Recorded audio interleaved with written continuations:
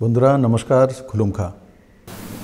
আজকের যে রিপোর্ট এসছে, তাতে আমবাসা বিএসএফ ক্যাম্পের ভেতরে যারা রয়েছেন, যাদের স্যাম্পল নিয়ে টেস্টিং ক্রমাগত রাজ্য সরকার করছে, একশো দুইটি স্যাম্পলের মধ্যে তেরোটি করোনা পজিটিভ আবার নতুন করে পাওয়া গেছে। তার মানে আগে চোদ্দোটি, এখন তেরো মানে সাতাশটি করোনা পজিটিভ। ওর দুইজন ডিসচার্জ হয়ে বাড়িতে চলে গেছে। বন্ধুরা, তার জন্য আমাদের সচেতন থাকতে হবে এবং আমরা মোকাবেলা করব। তার মধ্যে একটা পজিটিভ দিক রয়েছে যে সেই কনস্টেবল বিএসএফের যে জওয়ান ছিলেন, গন্ডাচারা হসপিটালও অ্যাডমিট ছিলেন এবং কুলাই হসপিটালে অ্যাডমিট ছিলেন।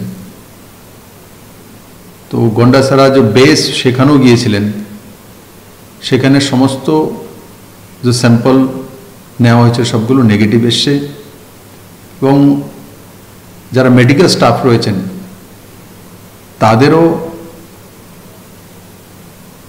ছিয়াত্তরটি সেভেন্টি সিক্স স্যাম্পলের মধ্যে ষাট নেগেটিভ চলে এসছে, বাকি ষোলো, তার প্রসেস গোয়িং অন রয়েছে, আমি আশা করি সেগুলো নেগেটিভে আসবে। তাতে একটা বিষয় নিশ্চিত হয়ে গেছে যে কোভিড নাইন্টিনের যে পজিটিভ কেসগুলো সেগুলো আমবাসার যে বেস্ট বিএসএফ ক্যাম্প তার মধ্যেই সীমাবদ্ধ রয়েছে। আমরা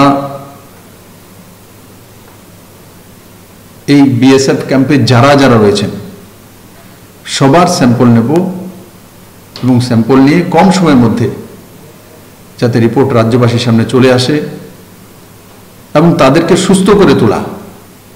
আর আমি বিশ্বাস করি ত্রিপুরুষের মায়ের এই পুণ্যভূমিতে আমরা সক্ষম হব, সবাইকে সুস্থ করে তুলব, আমার সমস্ত মেডিকেল টিমকে আমি ধন্যবাদ জানাব যে ওনারা কম সময়ের মধ্যে এই কাজগুলো করতে সক্ষম হয়েছে।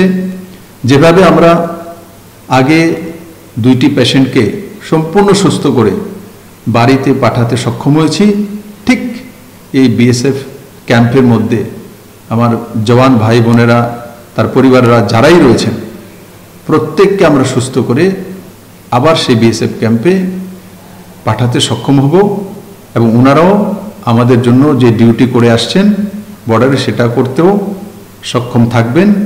এটাই আমি আশা করি। কিন্তু আমাদেরকে সতর্ক থাকতে হবে, রাজ্য এবং কেন্দ্র সরকারের নিয়ম নীতিগুলি মেনে চলতে হবে। এটাই আপনাদের প্রতি আমার বিনম্র নিবেদন।